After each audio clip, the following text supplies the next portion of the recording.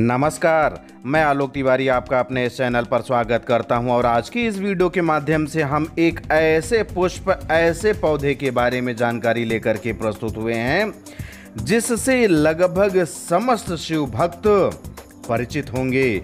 यदि आप भारत में निवास करते हैं और भगवान भोलेनाथ के भक्त हैं तो इस पौधे को, इस पुष्प को अब तक पहचान चुके होंगे। यदि नहीं पहचाने होंगे तो हम आपको इसका नाम बता देते हैं। यदि नाम बताने से पहले आप इसे पहचान चुके होंगे तो मुझे कमेंट बॉक्स में लिख कर के अवश्य बताइएगा कि आप पहले से ही इस पौधे को, इस पुष्प को पहचानते थे। यदि नहीं पहचानते थे तो कोई बात नहीं।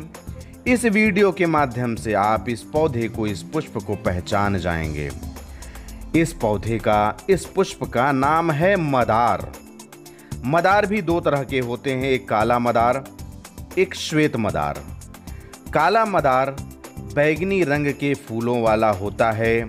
आज के इस वीडियो में हम आपके सामने काला मदार लेकर के प्रस्तुत हुए हैं।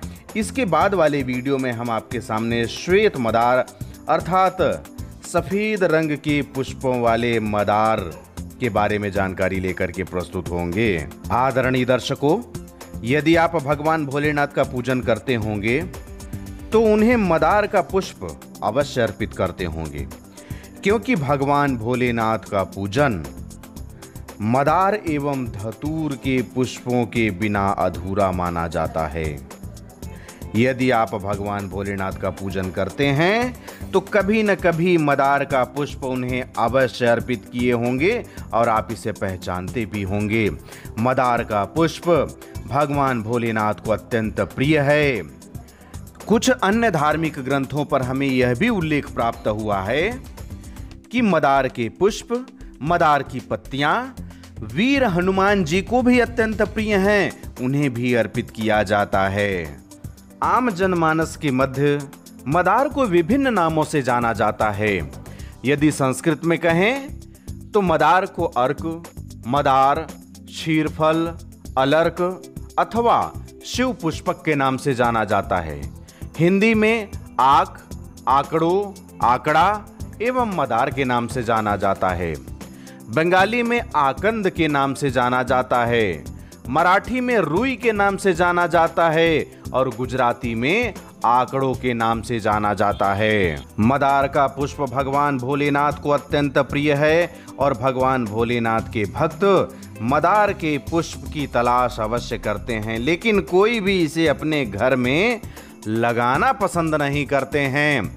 लेकिन जब भी अपने आराध्य भगवान भोलेनाथ के पूजन की बात होती है तो मदार के पुष्पों की तलाश अवश्य होती है। मदार के पुष्पों का, मदार की पत्तियों का धार्मिक महत्व होने के साथ साथ अनेक औषधीय तथा वास्तुशास्त्रीय महत्व भी है।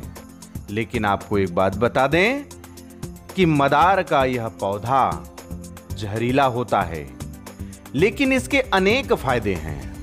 आयुर्वेद में अनेक औषधियाँ भी तैयार की जाती हैं। मदार का यह पुष्प बहुतायत में पाया जाने वाला पुष्प है, बहुतायत में पाया जाने वाला पौधा है, लेकिन इसे कोई उगाता नहीं है। यह स्वतः ही उग जाने वाला बारहमासी पौधा है, जिसमें बारह महीने फूल देखने को मिलते हैं। इसकी पत्तियाँ मोटी होती हैं, पुष्प गुच्छेदार होते हैं। मदार के पुष्प अथवा मदार की पत्तियों को तोड़ने पर दूधिया रंग का तरल पदार्थ निकलता है, जिसे आम भाषा में मदार का दूध कहा जाता है, क्योंकि वह दूध के रंग का ही होता है, लेकिन थोड़ा गाढ़ा और चिपचिपा होता है।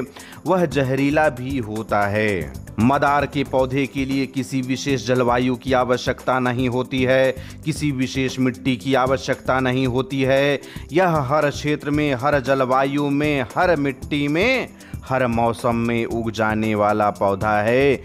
यह पूरी तरह से कहें तो बेशर्म पौधा है, कहीं भी उग जाता है, बिना शर्म के उग जाता है। आयुर्वेद में भी मदार का बहुत बड़ा उपयोग है। आयुर्वेद के अनुसार पर मदार से एलर्जी की दवाइयाँ, डायबिटीज़ की दवाइयाँ, चेहरे से झुर्री हटाने की दवाइयाँ, सिर दर्द से राहत दिलाने वाली दवाइयाँ, घाव भरने के लिए बनाई जाने वाली दवाइयाँ तथा खांसी में उपयोगी दवाइयाँ भी बनाई जाती हैं। लेकिन आपको बता दें कि बिना अनुभवी चिकित्सक या वैद्य की सलाह के बिना इसका उपयोग कभी नहीं करना चाहिए, क्योंकि यह जहरीला भी होता है।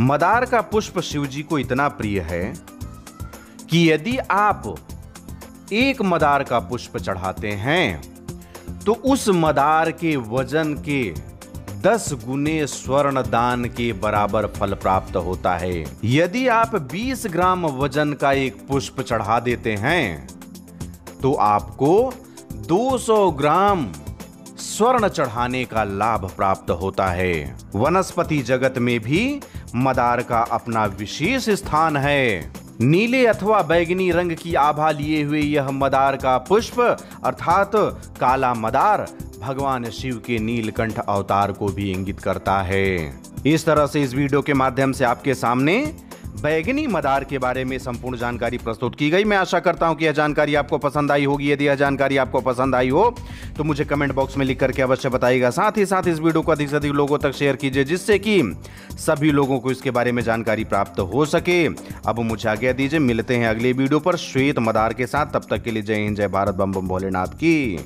जय जय गुरुदेव।